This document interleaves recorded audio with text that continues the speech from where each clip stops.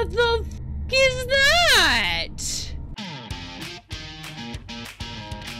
Welcome back to Night in the Woods. Last time we played, we learned some more about Gregg's relationship. We also talked about anxiety and how anxiety can impact a lot from drinking caffeine to how we can question our relationship. So many things. Just everything. We talked about everything last time. Having said that, let's wake me up. It's always an experience. I have missed this game, and it's been a couple days since I've played. Happy Halloween, dude! Oh, I remember the game. The game's like been leading up to hunting season. I didn't I didn't put two and two together about Halloween. Get spooked or something. Not get wrecked. Away message. Annual harvest play tonight at the old pickaxe. Come out and see the haunted history of Possum Springs. So, so Bay, I've been told you stay at this B, which would make more sense because it is not Bay and Mae, which those letters also sound very similar. It's like B and, and Mae, like Beatrice and Mae. I love that shark so much. okay, so this all in the bedroom, except for that bass. I am not. I'm not touching that. I've definitely grown quite a bit since then. Probably a little bit taller, a regular bit wider. What does that mean? My grand my granddad said I was sturdy. Is that like screw it, I am sturdy. Is that a polite way to say like grown fatter? When it comes to weight, there's so much. My brain would say heaviness, and that's that's not a pun, but like the words words that come along with with fat or weight or things like that have so much implications behind them I know that when I was raised, uh, like my family taught me that the word fat was like a bad word. As in, like, don't call someone fat. That can be very insulting.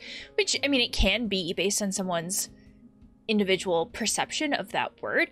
But at the same time, so much of this is also kind of fueled by our culture's perception and how our culture views these things. Because a lot of times there's this kind of, oh, the boxes are gone. There's this kind of I think fat phobia and this there's this fear of being fat which kind of means that our culture our culture continues this idea that being bigger is is being bigger is badder and so then we avoid everything that has to do with being heavier and we avoid all conversations with it and avoidance is not really a good thing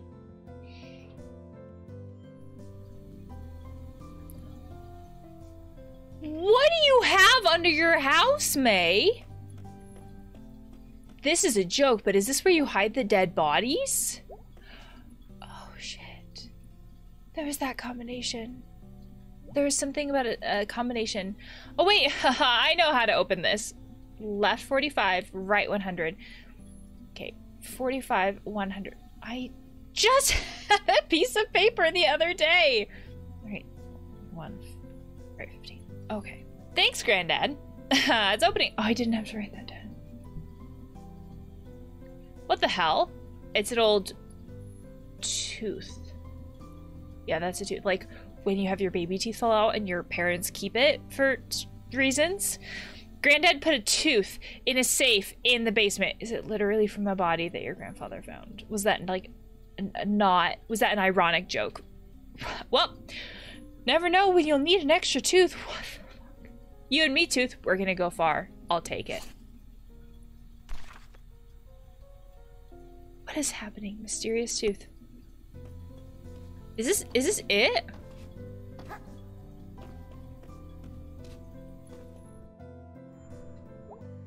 What? Was this like the crawl space under the house? Wait, that wouldn't make sense. It would have to be the attic because we're- no, we can't- it can't be the attic either. I'm very confused logistically where this is in the house because this is the attic. And it, we're still on the second floor, so it can't be the basement, even though this is what my brain tells me that it is. Is it is it like a crawl space underneath the basement? How weird. Or like how some houses have that like tiny small hole that goes somewhere. Oh, wow. Okay. Hey, trash bird. Oh, here are the boxes. Boxes are right down here. Hi. Hey, mom. Mm-hmm. Um, you okay or what's wrong? Yeah, like this is the most quiet the mom's been. What's wrong? Nothing's wrong. You're lying. So when when something happened at college and Mae like doesn't want to talk about it, her parents gave her the give her the space to be like, okay, like we're here when you want to talk. when her mom has something wrong, Mae's just like, you're lying and you need to tell me. it's not quite the same reciprocal nature. Which I think is interesting too, because we get used to our parents giving us the support and then I, I just think it's interesting that nature of like parents to children. I don't think we usually think of children having to give parents the same stuff back. Although I think that changes depending on our age. Like once we're adults, there's still this weirdness of like, yes, you're still my parent, but when do I treat you like other adults? Do we ever treat them like regular adults? I think a lot of this varies depending on the family. Families are weird. so incredibly weird. It, it, as far as like expectations. You know, you have some of those, some of these families are kind of like, you need to respect me no matter what. Like, no matter what happens, because I'm your elder, you need to respect me. But then there are other families where it's kind of like, eh, no, we can have more conversations and we can talk about we can talk about more things almost like this idea that respect isn't is earned kind of a thing and and that's what i that's what comes to my mind when i think of that families are so weird so honey do you feel like talking about school yet? Whoa. So like Mae's mom kind of throws it back at her? Not throws it back at her. This doesn't feel malicious i guess. It's almost kind of like if you can have things that you don't want to talk about i can have things that i don't want to talk about. Um okay. Or not really. Not really. Any idea when you might want to do that? Because, honey, I am all ears. I really am dying to find out why you decided to up and abandon all the plans we'd made as a family. Jeez, Mom. This feels like the most confrontational Mae's mom has been. Where is this coming from? You know, you're the first Borowski to go to college, like the first person in her family to go to college. So this is kind of painting this picture of, I picture it like a mining town, like a mining town where she's the first one who has the ability or the privilege to go off to college and that can be so much pressure because like well now now you have to succeed i mean you don't have to but that's how it can feel it feels like you're not only going to college but your entire family is going to college, I guess. That's that's how I mentally picture it. And so Mae had stuff that happened at college, wasn't able to finish college, which is it's her life, right? But now there's this kind of added pressure and her mom is even talking about like this was a family decision, right? So there's that added weight. I only heard that since I was like 6. So kind of growing up in this family where we have heard for our entire lives that this is this expectation. We are expected to go to college. We are expect and, and when we say that, we don't talk about college as though we just go. Usually when we go to college, there's this inherent expectation that we also graduate college. They, they go hand in hand. Well, honey, we've been planning for it since you were born. So like the family has been planning for it in the sense of like financials. Like I want to I've said this before that it, you know the job of a parent is to uh, provide try to try to give more to their kids not not in the sense of objects but like try to help their kids be happier and healthier than they were right? And so for this family that was college. Like i've been planning for this since you were born. I want to give you something that i didn't have so this this is how i'm doing it.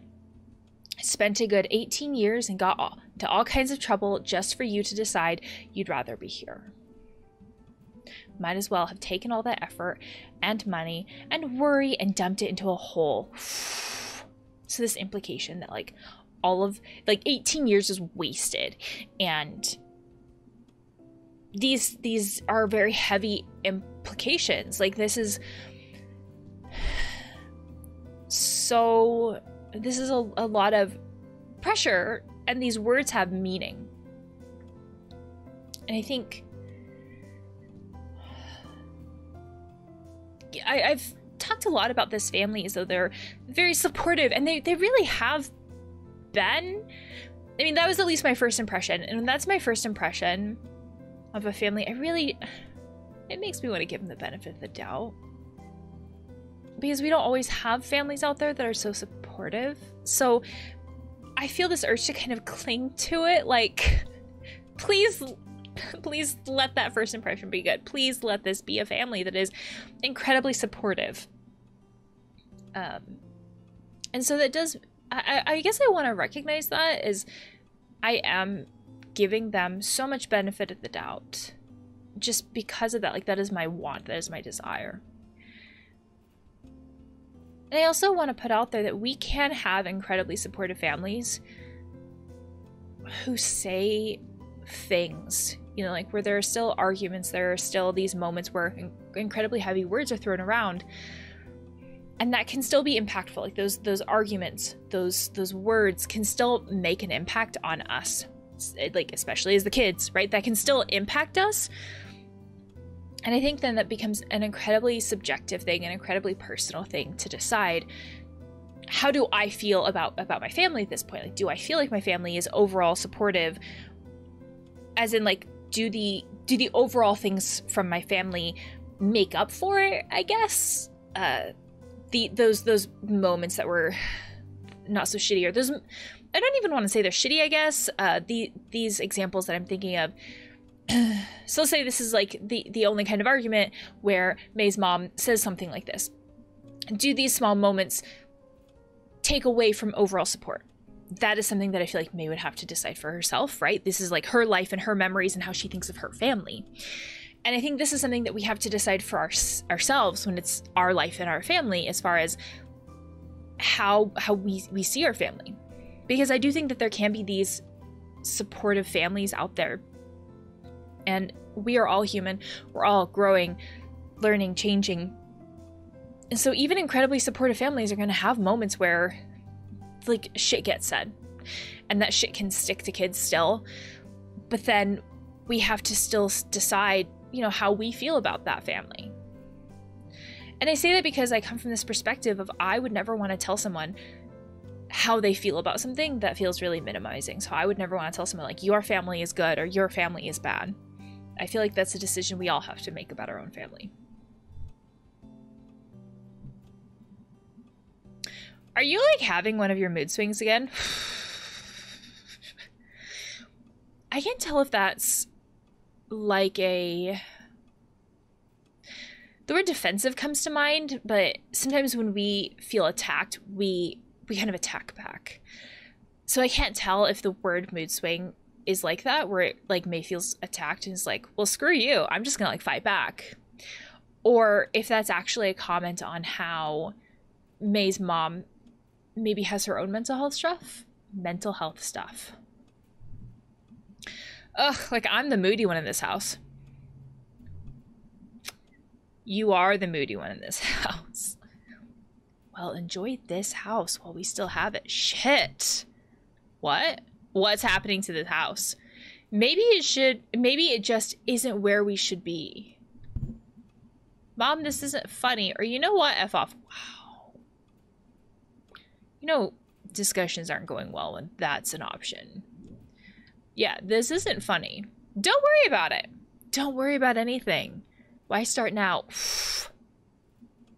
That kind of implies that just because we're not doing something like physical or action wise, we don't care. And these are two very different things. Sometimes, sometimes we're not doing things that again society views as as traditional measures of of success. Sometimes we're not doing these things because it's like we care too much. So we care so much about it being perfect or being the right choice or whatever and that paralyzes us.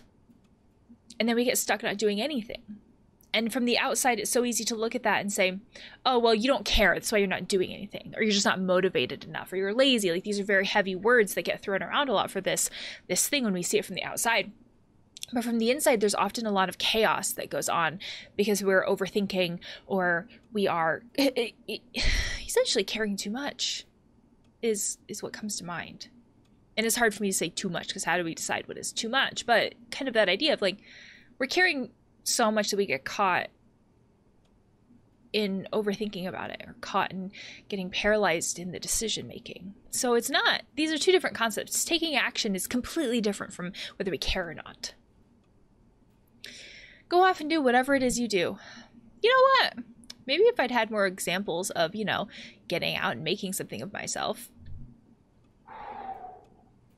So, this point in this argument very much feels like the point where it's like we are feeling attacked. We're feeling attacked personally, and we're just gonna lash out.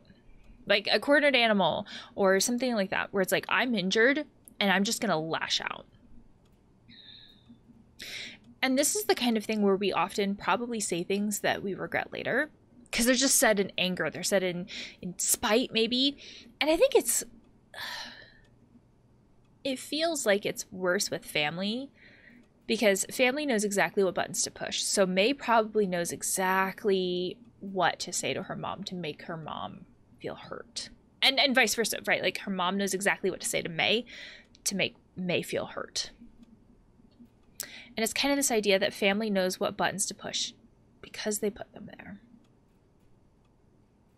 So if Mae is saying that that tells me that Mae probably knows that her mom cares a lot about being a mom, which is really huge in our society. There's a lot of pressure to be the perfect mom. But mm, like Mae's mom has already told us this in this discussion this idea of, I cared so much about being a good mom or like ab- about you and your future in general that I saved up 18 years for you to go to college.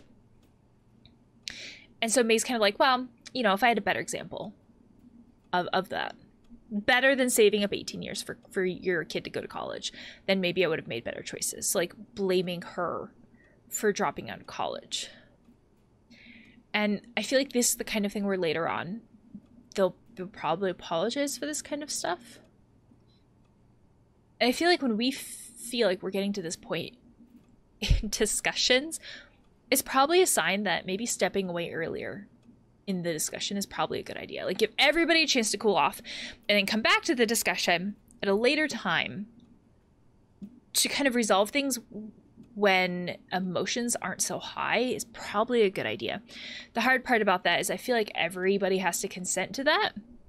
So let's say hypothetically Mae just like walked off or said like I'm going to take a break. I'm going to cool off, you know, I'm going to for for lack of a better term, I'm going to practice my coping skills if her mom didn't agree or didn't consent in her own way to that, then that by itself would cause more arguments because then her mom could say, um, like, how dare you walk away from me? Her mom could follow her, and all of those things inherently could cause more arguments. So it, it takes two to tango when it comes to trying to calm down and take breaks and return to the conversation later, too. So that by itself is often really helpful to talk about to when it comes to talking to our partners about this, talking to family about this, to be able to say, hey, I've noticed that we when we argue, when we have discussions and they get really heated, we say things that we regret, that we regret, and we don't mean. So, can we find a way to work on these things before they get so heated and then try to problem solve those things together that's often incredibly helpful because then like everybody's involved in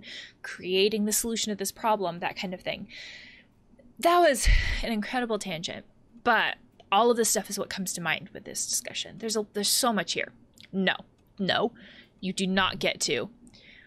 The mom was like trying to set this boundary if you don't get to insult me that way. Maybe you wanted me to get out of here because you never got around to doing it yourself. Fuck. Maybe I'm just the most recent failure. Ooh, that word failure. In the line of failures that is our family. Mae, I feel like you're gonna regret that. I'm leaving now! So I take it we can't continue this conversation. I do feel like that's a good time to leave. I feel like we should have left a little earlier. Versus um continuing continuing that the way we did. That was that was a lot. That's gonna be a thing later on. I don't feel like we can just say things like that and then just act like it never happened. Usually we have to that comes back in some way, shape, or form. Also, how many times do you think Mae's family has repaired that mailbox?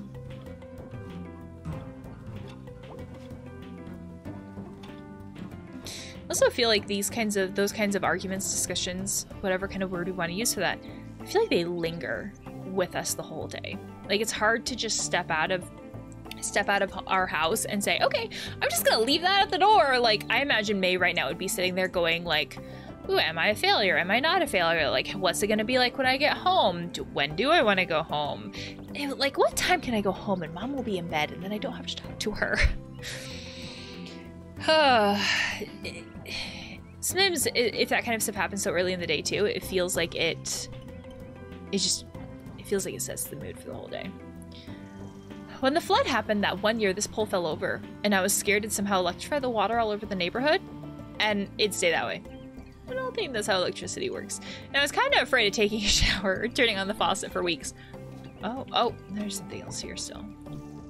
After the flood, it laid in our yard for two weeks. Wow, how long does it usually take places to repair telephone, telephone? Telephone poles. Like a big dead thing. But then they put it back up and I could see it from my window at night. And it felt spooky for some reason. like we got used to it not being there and then it was there. I guess I kind of mentally picture um, like in scary movies, it usually feels like for kids, they always have the tree that looks like the branches look like fingers looming outside the window. Only it's a telephone pyre. Telephone pole. Not a pyre, a pole. Spooky pole. Undead friend watching me from the curb we could see it that way. Also, at what point would like AT&T get after me? Like, jumping on wires. That AT&T was like the only the only landline telephone company I could think of.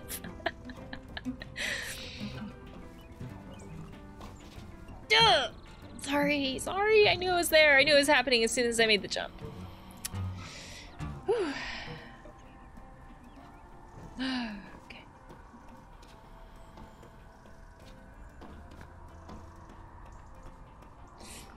I don't know why I'm jumping over here. There's there's like nothing here. Hey Selmers. Quo decorations! Oh, the pumpkins have little ears. Girl, you can't mess around on Halloween. Jeez.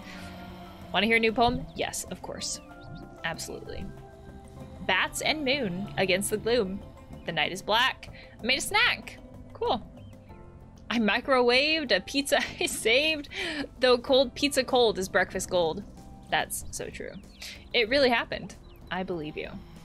Big Halloween fan here. Yeah, me too, obviously. You're you going to harvest? Nah, staying here for the trick-or-treaters. You are a saint. Harvest is done. Really? I love it. Or I mean, are you eight years old? No, I'm not. Okay. I thought that was one of those cutscenes where it just kept going. And it's like, eh, are you eight years old? Are you? How do I get on your porch? There we go. I couldn't figure it out, which I'm sure they were quite pleased with. Don't touch my pumpkin. Well, now you know I want to. This, this pumpkin? Or this one? Or this one right here? Oh, I'm so obstinate. Hi. there's a lot of leaves.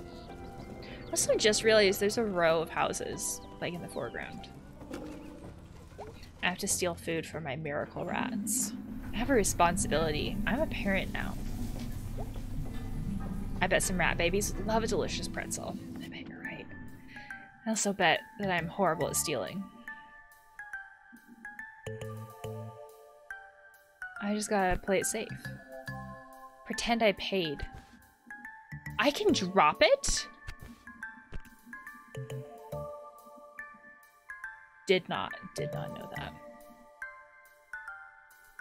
So if I just dropped it now, oh, I can't just drop it into the pocket.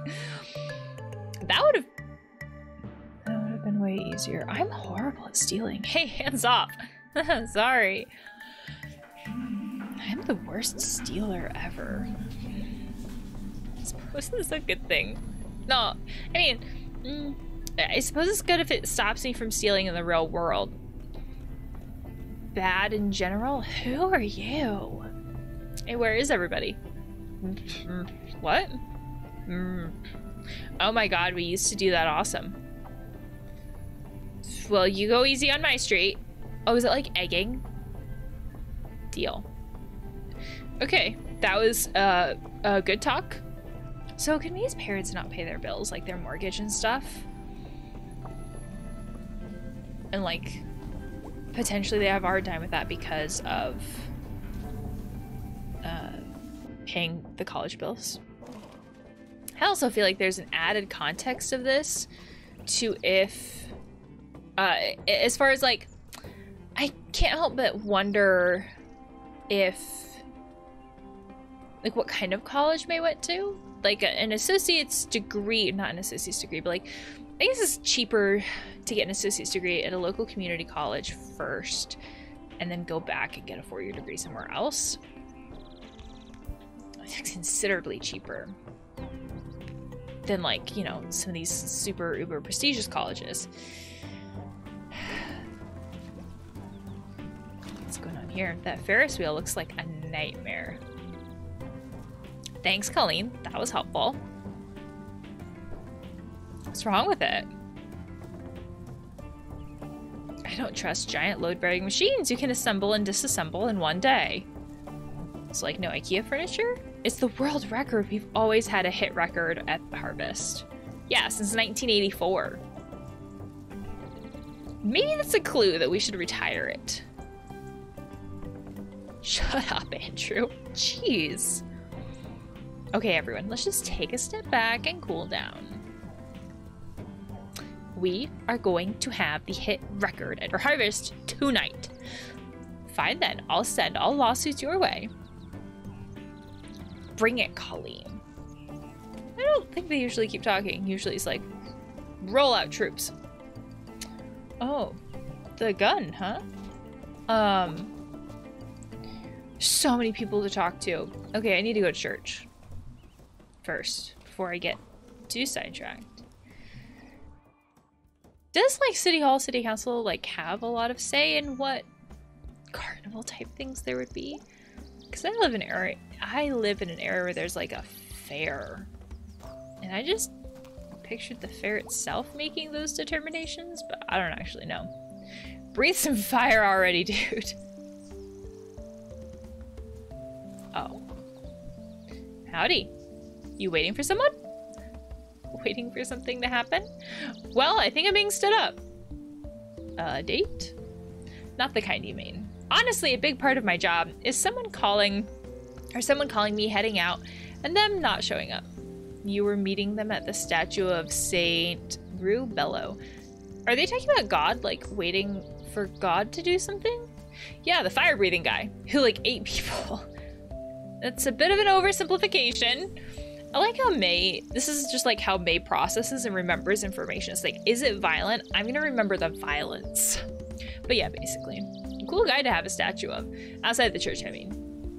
Well, I didn't put it here, but can't we learn something from St. Rubello? Breathe fire or eat people? Both excellent options. I'm gonna go with breathe fire. Sure. The statue is part of our Encourage Criminal Acts outreach. I like how the pastor doesn't just like shame, blame, or guilt Mae for like how she talks about this stuff. It's more like, eh, I'm, you know, if this is what interests you, let's talk about it. It's working. How's the situation? The situation? With Bruce and stuff. Eh, we wait and see and pray. Is Bruce here?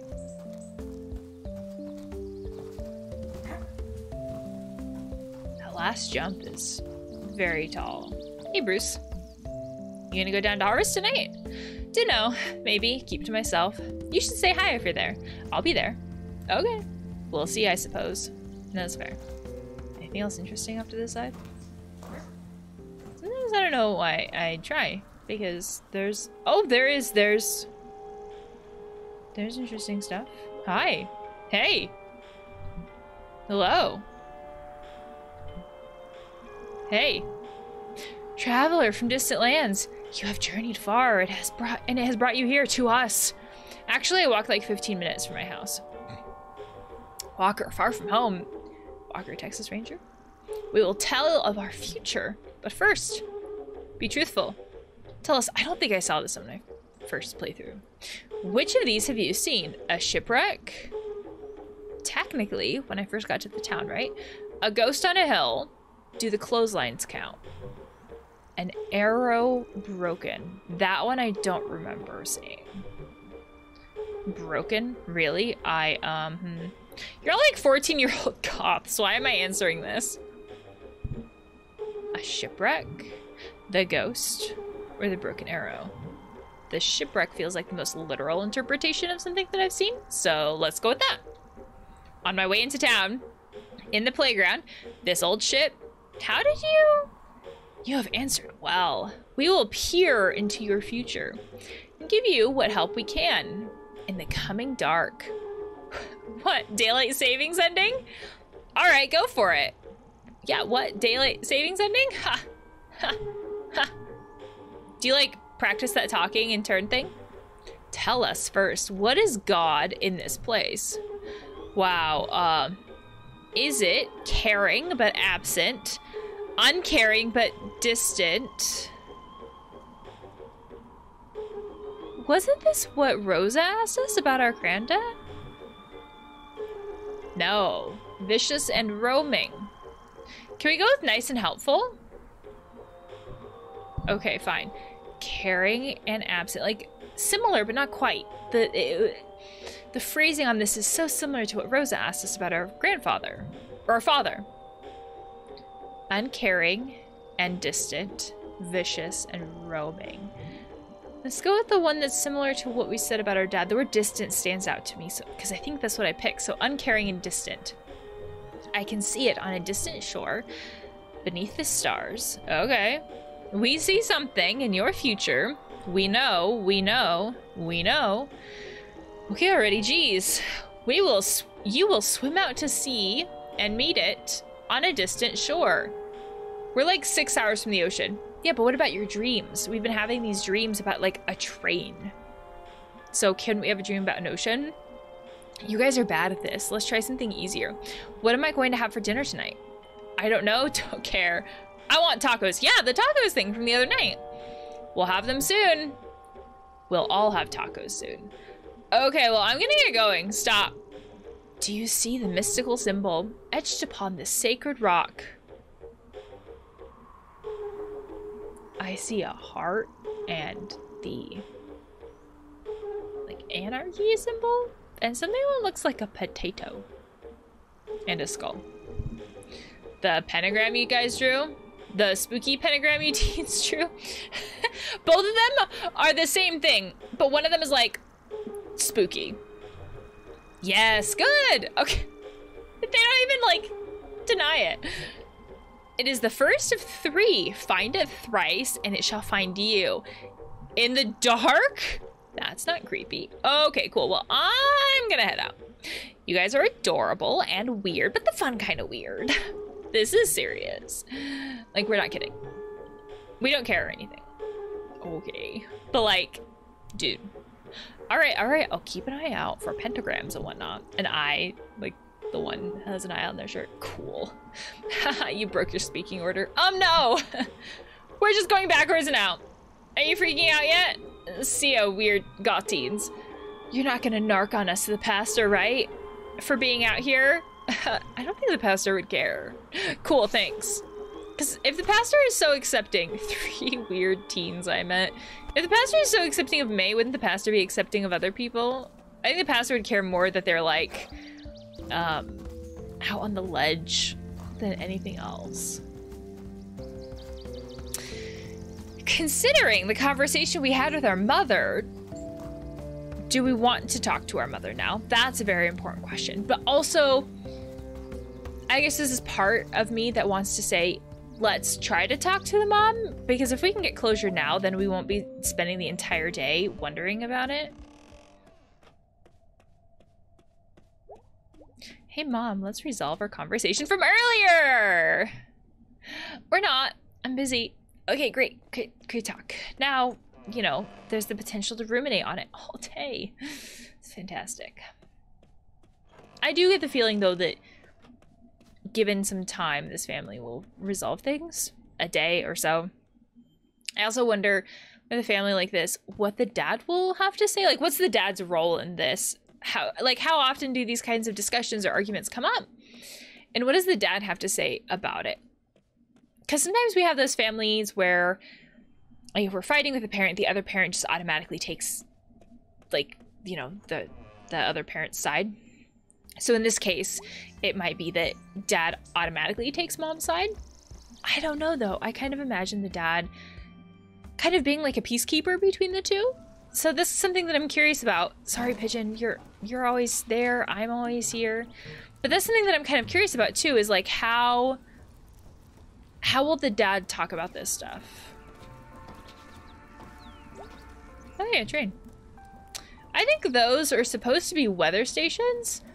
Pioneer Scouts made them when we weren't playing football or learning about manhood. These are the manliest of miniature windmills for sure. So, oh, I can kind of do something with them.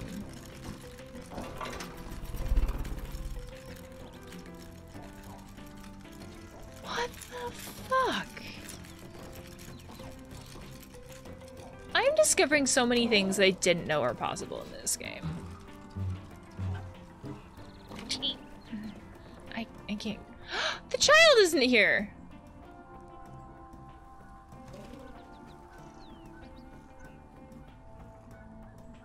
Where's where's my my horror loving friend? I don't I don't know if I should visit my um, rat babies when I don't have food for them.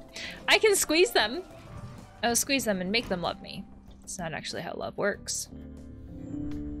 Oh, there's four of them. I will squeeze all of you. Okay, that's it. I am a terrible rat mother because I got caught stealing, which is not a sentence I say very often. Hmm. So where's the anarchy symbols? I don't see any anarchy. Doesn't mean it's not there, but I don't see it. Speaking of anarchy, hey, Aunt Mall Cop. Mall cops don't carry guns, Mae. I mean, they could. Can they? Jeez. I guess you need that gun for... What are you doing? Blocking off the road. Oh yeah, I wouldn't want to do that without a gun. You might know how many times I've shot someone? No, tell me now. Once. You killed someone? No. So you're saying you don't really need it then? You should carry a battle axe. that would be impressive. I'll look into it. Coffee. What about the job situation? This is what this is this is what I want to eavesdrop in. What happened with the job? Aw, everything is so great and harvesty, which is basically just a less spooky Halloween. Whatever, I just want to head home and get ready for tonight. I could just do that. Or I could wander a bit, take in the harvesty air. Well, I'll get home when I do. Yeah, I want to explore more, Mae. Yes, this is my mouse friend. You hype for Harvest? Um, Harvest is pretty dumb, right? This character, it feels like, has kind of people-pleasing tendencies where they're kind of gauging what they say, or they're, they're basing what they say off of the other person. So it's like, right? As in like, I want to hear what you have to think about it, and, and then then I'll I'll match my opinion based off of that. I'm gonna watch a bunch of old Dracula movies in the 60s. That actually sounds really cool. It is. Gonna get pizza too. Oh, I want a pizza now. Ugh. All to myself. Damn. Wow, you have life way more figured out than I did at your age. Really? What are you doing then? hanging out with really embarrassing places online. Ruining my life. Neither of these sound great. Let's go with the online one. Yep. See ya. Later. That's it. Hmm. I do feel like this, the one thing that this character is like passionate about by themselves, like regardless of what other people have to say around them, is the horror thing. That was the one thing where they were like, this is my thing. I like horror. to the to the extent that they were like, this is this is what I really like. And I feel like the part that makes me sad about that is it also felt like they were saying like there was still that gauging around that. But they brought that up first, right? So like that was something that they brought up. I guess let me back that up. It, it seems like they really like that horror. Like that's a genuine thing that they have an interest in. As in it's not something that we brought up first. So it's not like we brought up the horror and then they mirrored it. They brought it up. I guess the part that makes me sad is that they they then kind of like still it feels like they're gauging the reactions of people around them to that. And it makes me wonder if they'll actually pursue it or not. And that's the part that makes me sad. It, makes me sad to feel like people aren't pursuing what they really want to do. Or, or even as a hobby. Because again you know I've, I've said this before but I, I totally get not pursuing it as a job if we feel like it's not gonna pay the bills happy halloween! You too. You feeling spooky? Oh extremely. Can't you tell? Do your spooky face. Because you're just smiling. And it's adorable not scary. Oh. Nice effort though. It's so cute. I like angus. I like all these characters. They're very endearing. We are almost faster than a car. Go smelters, right? Is that is that what it is? You going to harvest? Nah, I gotta watch the game, of course. Is there a game tonight? Well, no, but I was gonna watch my favorite highlights. Wow. Why don't you come out? Might be good. Stretch your legs, see the parade. Ever see the game live? Oh. Nah, never. Wow. Coming out to harvest. You never know. Yeah, alright. Yeah, go smelters. Go smelters. They talk so much about the game. I kind of assumed that it was live. Isn't that how we usually talk about sports? I don't really watch sports. Nothing against it. It's just not my thing. So I guess it's just how I assume, like my brain automatically assumed that it was just a live thing. So these are like pre-recorded games or highlights or things like that. Don't get me wrong, sometimes we, I'm assuming, watch pre-recorded games because if our schedules don't align or stuff like that. So that kind of puts this, that makes it, that makes it sadder. It feels like holding on to something that isn't there anymore kind of a thing. So the more time we spend in this town, the more we see past this like facade, it, it feels like. Hey man, how's things? Good. Harvest rush? No one's no one's in here. You missed it. The horror. Oh. I I done got horrored. Things horrored at work is the worst. Or when is this place busy? Think getting horrored at work is the worst. When I had that job that one time, I worked the longest night rush. You know, you've never mentioned having a job. Ugh, it's a story for another time. Anyway, you're here now and I'm here now and it's a lovely day. And I was worried I'd have to smash these light bulbs. Isn't that extremely unhealthy? Like, whatever stuff is in light bulbs is something that you're not supposed to inhale. All by myself. So what's up? Nothing, or uh, um, I'm very interested in this light bulb smashing.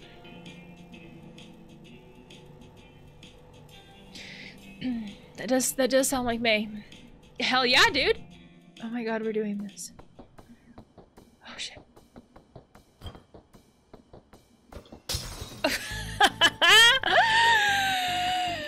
uh, I'm not. I'm bad at sports. Oh, I have to move around. Okay, that explains it. That that that's that's a big brain right there. Oh no. Oh no. Oh, I got it. Don't do this. These are like the, I'm pretty sure these are pretty dangerous to inhale. What? Jeez. Jeez, Mae. You threw a bottle at my face.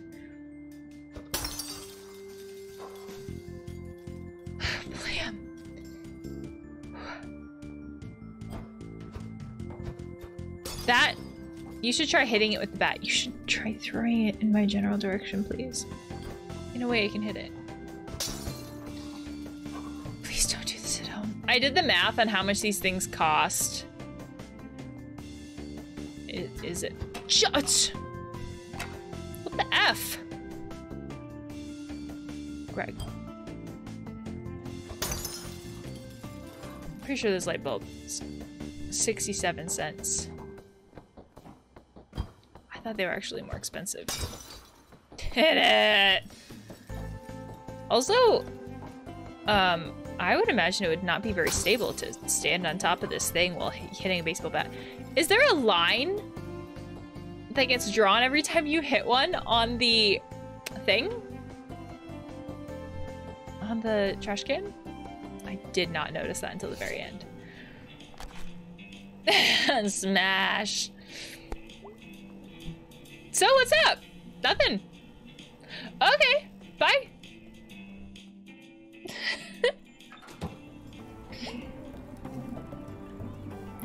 I thought my drink was gonna explode. It didn't.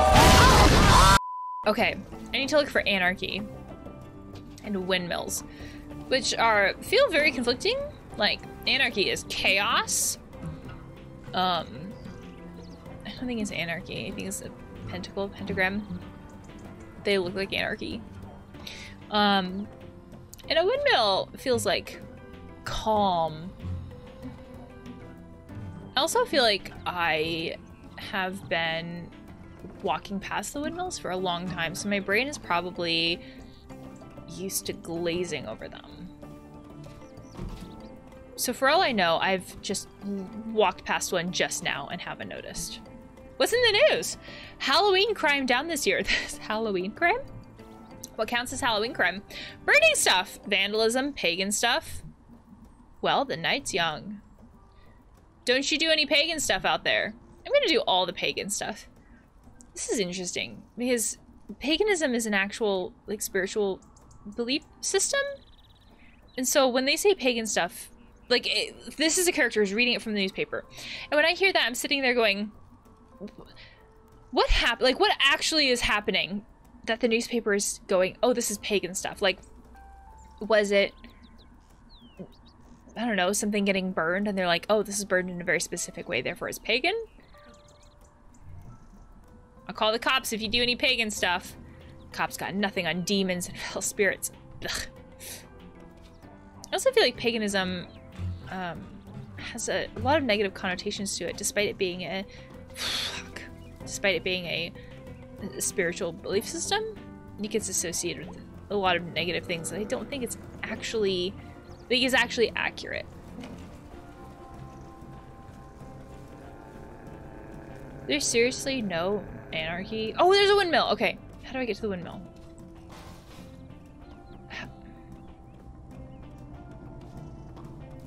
Okay. What? Can I jump on the diner roof?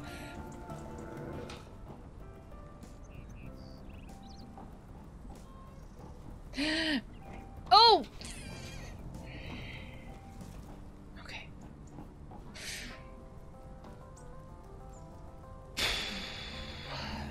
I mean, I love platforming. Platforming games are the best. They're not frustrating at all.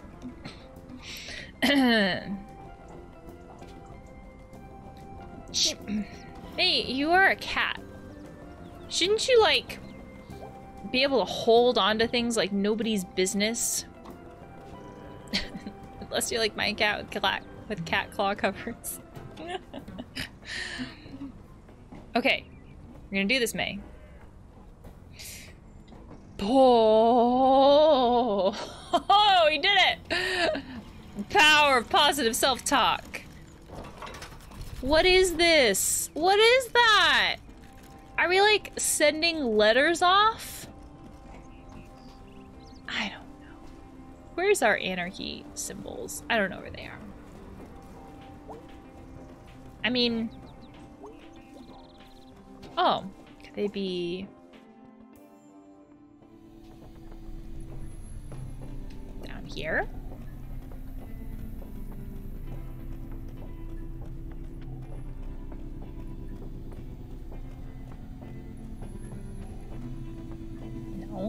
I guess all that's left to do is go home then to technically get ready for harvest. hey mom, I'm home. We ready to have a conversation about earlier today?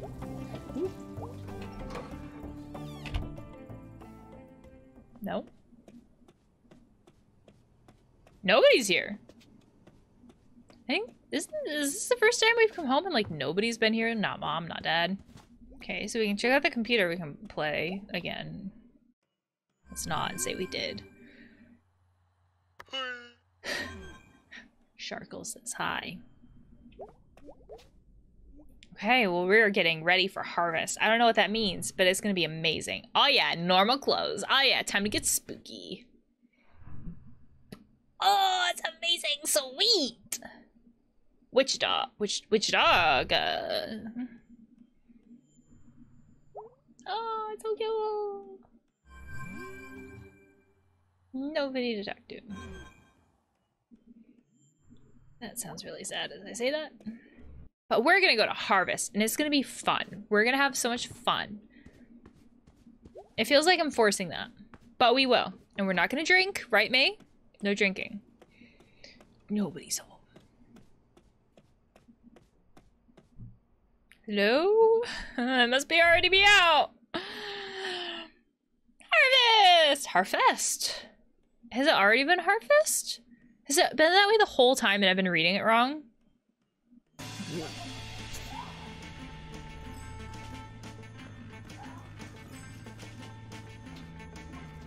What is going on? Also, is that the first time the cat's been awake?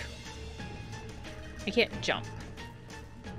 I suppose that makes sense. Fortune! I want the fortune! Fortune, fortune, or splash of fortune. Dare you spin the wheel of destiny? Fuck yes. Explain. I think I'm gung-ho. I feel like Mae's role and my role just reversed for a second. I was like, fuck yes, let's do it. And Mae's like, you should probably explain this a little more. No, none can explain the power of the wheel. Save that it is an unknown circular soothsayer. It's a it's a wheel. It's like Wheel of Fortune. Oh snap! Is this gonna say say the sooth? The sooth shall be said. This is a lot of alliteration. Okay, I'm into this. I pushed the wrong button for like the first billion time. Cool, seven. I like the number seven. And there's the three. Is your arm injured? No, but we did find an arm. It's a little sore lately, actually. I can tell. I see it all. Your fortune. You, you fortune is your fortune. What? A place you will soon be forever. Okay, that checks out. Your card says much. A great circle, an orb, but flat. Your thoughts shall be consumed by it, and yet you shall devour it. It's like pizza. Oh, again, pizza. Pizza with pepperoni. Those would all be round things. Slammer cakes at Donut Wolf. Oh, or donuts. Those are all circles. I feel like things like this are something where like we just get the slightest hint. It's like horoscopes, right? We get just get the slightest hint of something that is extremely vague, and then our brain fills in the rest of it. Just like how I was like, oh yeah, but like pepperoni pizza, that's round. A round thing within a round thing. And donuts, those are round things. My fortune is I'm gonna eat pizza or donuts or something. I mean, that's good, but I expected something more mystical or something. The cards do not lie. The wheel that crosses the table is unknowing, unknowable. So this is unknowable truth. You have learned much, child. I'm 20. Well, that was interesting. May the wheel ever spin in your favor. All right, then. That's fantastic. wonder how many different fortunes there technically are, although I imagine they're very similar. Hold up. Colleen? How do I get into this thing? God damn it. Okay, we're fine, we're fine. Welcome to Har- it is Harfest. I've been saying it wrong this whole time. Spectacular water balloon toss. You know what to do. Or I can figure it out pretty quick. Okay, let's go. I get to actually throw water balloons at them? I'm a scary spirit and I've been hit! I'm gonna haunt you for that. I mean, if this would actually stop them from haunting... I'm extremely cold and wet. ah! From haunting Bruce? Haunting. Oh no, I'm dead again! I mean, like, that would be worth it. Oh no, you've hit the evil witch! Ah! Evil witch, where will I go next? that was already moved. I'm gonna hex you up! Ah! that was rude. Oh no, I'm melting! Run away! Are you a potato? Can you please stop moving? Ah! Oops, I'm the pumpkin. I kind of, I hit him once. Yeah, twice! You hit me, the pumpkin!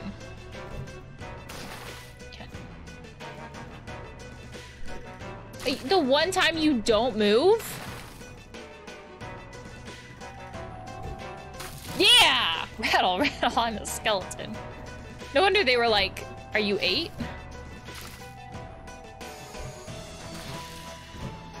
Stop! Clickety clack, you hit my bones. Stop. I can't throw it again. Well, that sure was something. On behalf of the Possum Springs Town Council, we urge you to support local business. Enjoy our historic home. Possum Springs, more like... Kathleen, no. More like Awesome Springs, more like Lame Springs. Is that what she was gonna say? Okay, we're done.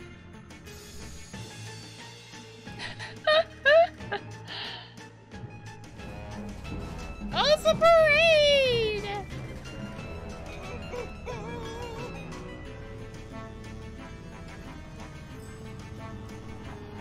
So cool. Is that a giant pumpkin?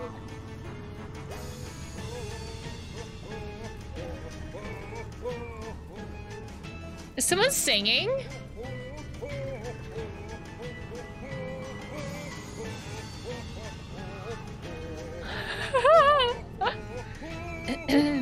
okay, so I can go into the pickaxe because there's that play or whatever. Oh, someone's on their phone. Hey, hey!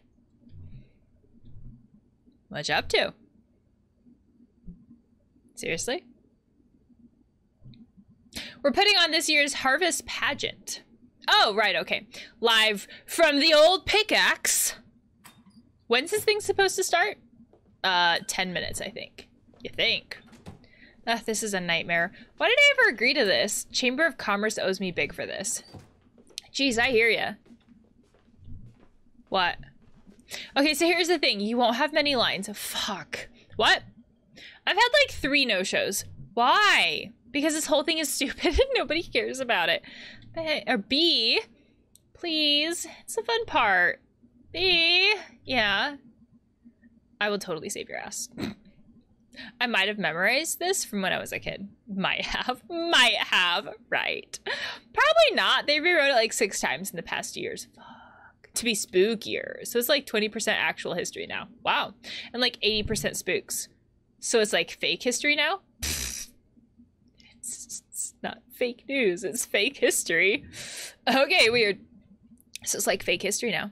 It's like the bad remake that doesn't respect the source material. So when they take a book and make it into a movie, it starts off normal but gets anyway. You got like five minutes to look at your lines. I should preface this by saying, preface that comment before by saying, I feel like book readers are the ones who might feel like that defensive because like I love this thing and I want you to do justice to this thing that I love. And then it feels like no matter how good the book or the movie is it never feels like it actually does justice to the book. It's just, just how it works. Psh, I can wing it. Mae please don't wing it. I mean that feels like what Mae does though. Okay what are we doing right now Oh no. Oh no, Oh no, no, no, no. Oh, I didn't see there. Be ghosts? like how Bea is in her same like shirt as always. Like her didn't change, is not in a costume. Everybody else is just fur hats on. Are ye here to hear the tale of how Possum Springs came to be? Through the mists of time, I see weary fur trappers from 1793. Brother John, yes, Brother Stephen. From this vantage point, I do spy a deep hollow, and within a great dead tree, and besides with a which a spring. Besides our wee brother Stephen, for truly my throat is parched from these long and arduous travels and carrying these 300 beaver pelts. Let us make haste, O excellent brother. Ho, travelers, help an extremely old woman, old woman, or ho, travelers, spare a crust of bread for a needy woman. Th this, this one, ho, travelers, spare a crust of bread for a needy woman. I don't know which one is right or wrong. We're winging it. This is winging it. Haggard witch. That's rude. That's rude. Horrible to look upon. How dare you? How dare you? Mae and I are not haggard. Cruel young men, thank you. Ye did not even offer one of thine three hundred fine beaver pelts to warm thy ancient bones. I shall curse ye and thee, or thou art a rude and naughty boy. I kind of like that one, but I feel like this one is the one I should go with. Thou art a rude and naughty boy. That was the. Thy naughtiness must be met with punishment. Makes me think of there's one episode of Courage the Cowardly Dog. That's what that makes me think of. I are uncomfortable. That's how that episode of Courage goes. Yep. Um thy punishment is a curse. Thy punishment is a task terrible. I feel like curse is what we should go with. Thy punishment is a curse. That goofy laugh. It's like the sharkle. That shall take thee, take ye and thee, even this very night. Yee! I was bo born among these trees, near the harvest moon, and ye shall die under that moon. Brother John, I am frightened. Faith, brother Stephen, art thou so easily shaken by the ramblings of an old crone? Again, that's rude. That's that's a rude choice. Come, help me carry these three hundred beaver pelts. But little did anyone know that the witch did not curse in vain. I don't I don't curse in vain either, but my curses are words like shit. I don't think that's what they meant. oh no, there's more.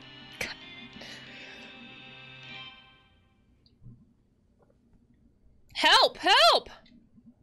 Who will help a poor traveler? Gregg. Uh, um, uh, by the moon and stars above us, sir, I beseech thee, what is thy trouble? You're in this. Yep. Ah, uh, witch! Yup. I swear thee, fiend, that this very day, this horrifying crone, again, that's rude, did curse my brother and I to die. Swoons! We camped by this very spring beneath the dead tree, and even now his body lieth upon the earth, lifeless as a pile of 300 beaver pelts. Oh, it chilleth the heart. a curse upon rude young men. They are. They were very rude. I did curse this spring. Yeah, curse upon rude young men. I don't. I think it's a curse upon the spring, but I'm. I'm. Mm, they were rude.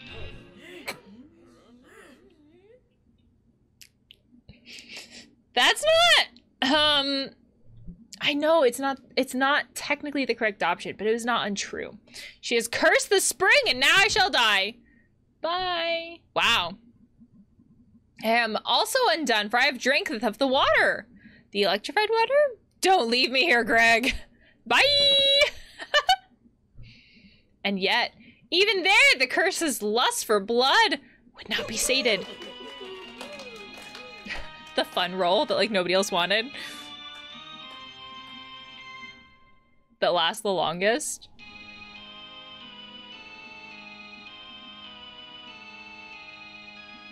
I also like how this is a tool shop and there's a saw above the doorway.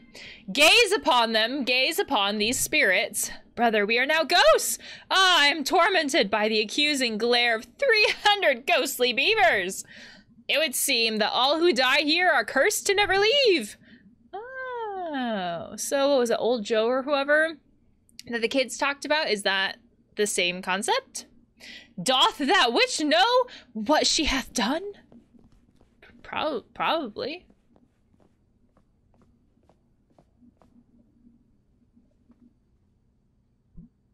Uh, um, crap. Four score and seven years ago? For what is a ghost? For each man is determined on his path.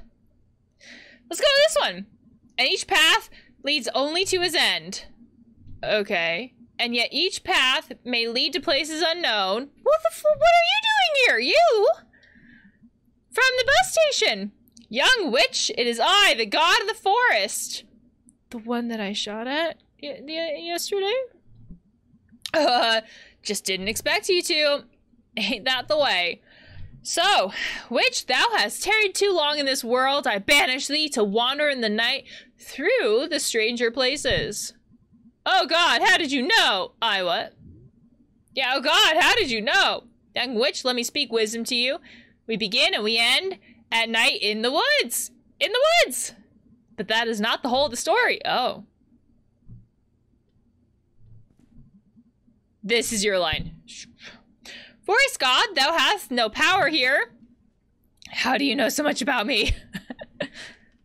uh... How do you know so much about me, young witch? Is that the correct answer? Young witch, I know more than thee could ever know, for I am as old as these trees. Wow.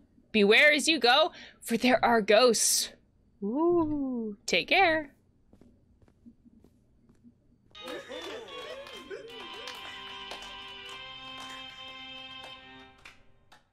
He's an interesting character. Just pops in and out. And so was founded then this festival. On Halloween, we shall celebrate the dying of the year and the founding of Possum Springs. I, Mayor Ghost, decree it. The beaver population suffered a decline, and now our biggest exports are corn and pumpkins. We used to be the county seat. Now leave before I curse you all. leave before I curse you all are laughing. Let's go with that one. Oh no, audience, and that's our show. Be careful as you leave here, for who knows what may lurk in the darkness. And also be sure to pick up a flyer on your way out from the Possum Springs Chamber of Commerce. Support your local spooky businesses. So I picture her saying that. Like, I don't really want to say this, except, like, her, she is a local business, but, like, how many times would people have heard this by the time they got to this play? Jeez, thanks, guys. I am never doing that again. So, what are we doing now?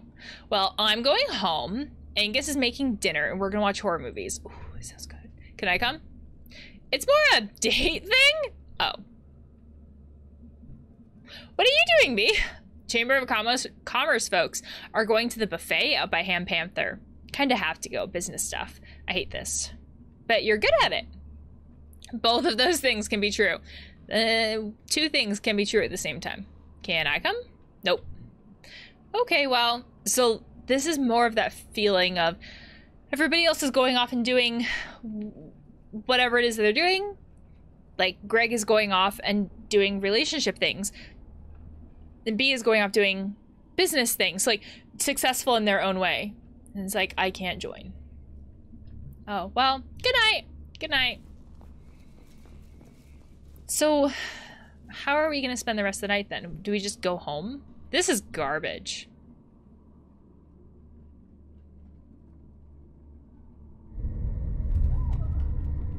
What the fuck is that? That's what I just said. Oh my god. Hey, anyone? Shit. No, mate, don't. No. Mm. We don't run towards the danger. Oh, the food donkey. Part of the hometown. Not anymore. Where the hell did he go? Shit. Can we go back? Although I suppose it's not much of a game if we always just run away from danger.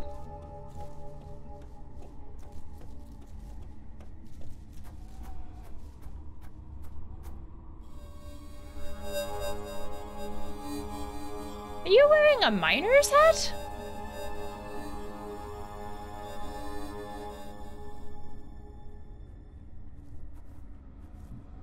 Mae? Go home. There's a guy up there on the hill. He stole some kid. He looked like a ghost. A ghost, huh? Or something like that? Mae, you shouldn't be out here doing whatever it is you're doing. No, no one should be out here. But there's this guy. I'll drive you home, Mae. No!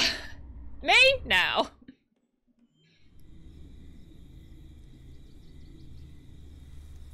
Did her aunt look up the hill? Like, is this a real thing? Is this a real ghost, a real person? I can't go to the right. This is, I'm assuming, a dream. And it is a weird dream. I cannot jump. It's very red. Which implies that scary things are going to happen. Our communication is not just verbal. Our communication, we also communicate through symbols and colors and things like that. And red is often used to communicate scary things or anger or things like that.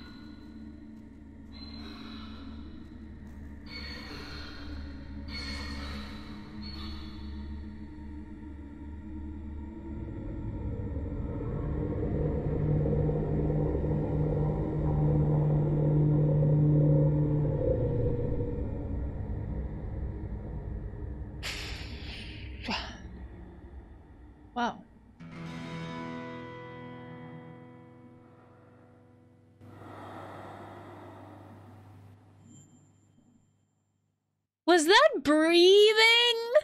Oh, I don't like that breathing. That breathing makes me uncomfortable.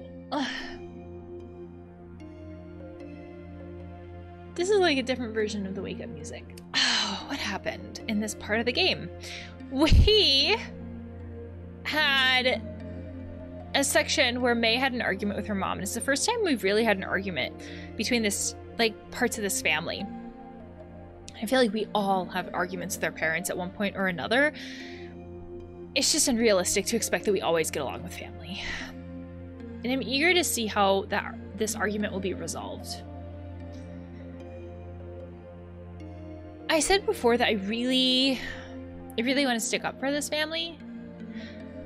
Not just stick up, but I really want to I really want to hope that they will still that, that they are that they actually are as supportive as they initially seem.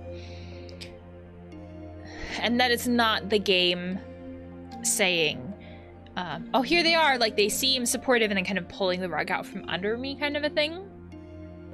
Um, so I feel this need to um, give them benefit of the doubt, hoping that they will continue to be supportive. And I feel like how we resolve arguments is a part of that too. You know, if we can come together and say, hey, I'm sorry for this, how can we resolve that? To me, that's also a measure of how supportive uh, a family is, or any kind of relationship, really. So I feel like this is the first time we've seen some kind of a some kind of attention and also some time where the family has openly pointed out like you haven't really said what happened at college because a lot of times in the family talks about it it's it's basically saying hey um, you can talk about it when you're ready. And then there's been implications about the job like hey are you ready to get a job? How about that job? And and i don't necessarily blame them about that because like they don't know what happened. So a job feels like the next measure of success and we want our kids to be able to pay bills in the future. So i feel like that's the next logical thing to try to encourage kids to do. But this is the that argument was the first time that Mae's mom was openly saying, "You haven't talked about this." And so there was a lot within that argument.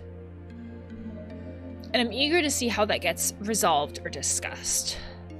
Um, I also feel like this is the first part of the game where there is some kind of external motivator, some type of external plot point there was a figure who just kidnapped a kid and there was all these talk about ghosts leading up to it And of course there's stuff with the arm before that, so it's kind of like what is what is this? Is this really a ghost? Is this a person? Who knows?